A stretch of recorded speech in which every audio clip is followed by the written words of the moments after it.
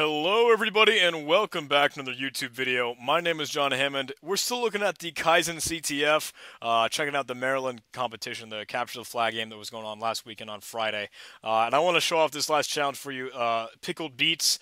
Um, there's only exploitation ones. It was a challenge that I did not solve during the competition and I'm still very, very sour about it because I, I know that I could have solved it and I know I should have solved it. And it honestly is the difference between what put us in second place and what could have had us in first place. Now the competition is over. I have finally solved it, and uh, check it out on the scoreboard. Uh, that's currently what puts us at the very top. But again, it's it's the the competition has ended. The competition is over. So whatever. I still want to show it off to you guys. Pickled beets, um, showing off some of the Python pickle library. So the, the challenge here is I'm a big fan of beets, so I made an, an application so people could send me their best beets.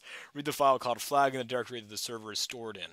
So it gives us, I, I did end up using the hint at the very end of the, of the competition, even though it told me everything I already knew. Yeah, it's the pickle module. Um, it's not very secure. Originally, the challenge was only 100 points, but it only took away 10 points. So even if we had used the hint, we still would have jumped up to first place, like I currently am in now, quote unquote. Although the competition is over, we finished in second place. So whatever. I'll download this and we can take a look at it. I can show you the source code for what's running on the server. Um, we'll create a new directory called Pickled Beets. Go ahead and save it. Jump over to our uh, terminal here. Move back into uh, pickled beets. Unzip it here. And now we've got this server.python file. Oh, sorry, server.py. And it uses pickle, base64, and sys, and it creates this object for us the class and says, Welcome to my beat receiver. I'm on a quest to find the best beats in the world. Send me your best beats when you're ready. So it takes in our input and it base64 decodes it, and then it turns that into a object by unloading or load string of that beat. It, it, it, looks like pickle. The pickle module in, in Python can like serialize a Python object and create Python data. So he says, thanks for your beat. Here's the name. It sounds delicious. So it does end up using the object that we give it. So we can take advantage of this. I'll show off the Python pickle object if you haven't heard of it before, but you've you may have seen me use it in um, like some of the Python challenge, stuff like that. There's a lot of documentation on it, um, and they do say uh, do not trust any pickle that you have seen before because it can contain malicious code that can run arbitrary Python code or anything else. Um, Again, it even goes through that in the documentation. It says it's not really secure against maliciously constructed data. Never trust or unpickled data from an untrusted or authenticated source. So that's what we can take advantage of. And honestly, I should have been able to do it during the competition because um, I totally know how to exploit it, but I didn't get it in the right syntax or the right form. If you do a little bit of uh, Googling for pickled Python stuff, um, there's a big blog that's even the answer is right here. Um, it explains that you can use the Python pickle serialization library and create an object that will just run any code you want. Um, in our case, we can just say uh, create an object that will run like you know a shell run bash or sh once the python object has been created or reduce it'll just return that shell for us and they even use that base64 encode uh, option.